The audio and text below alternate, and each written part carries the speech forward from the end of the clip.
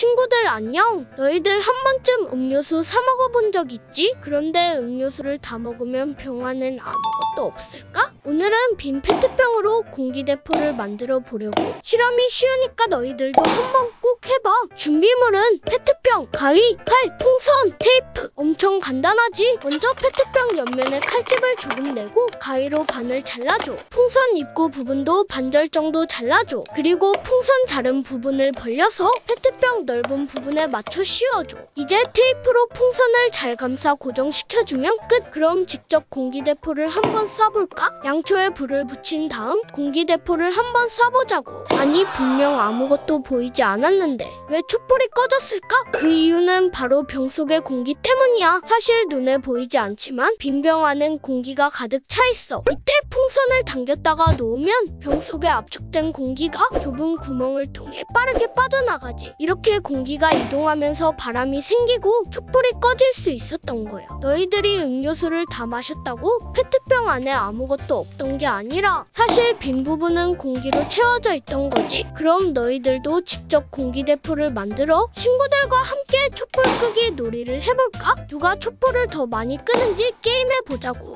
실험 정리 1. 공기는 눈에 보이지 않지만 우리 주변에 항상 있다. 2. 공기가 움직이면 바람이 생긴다.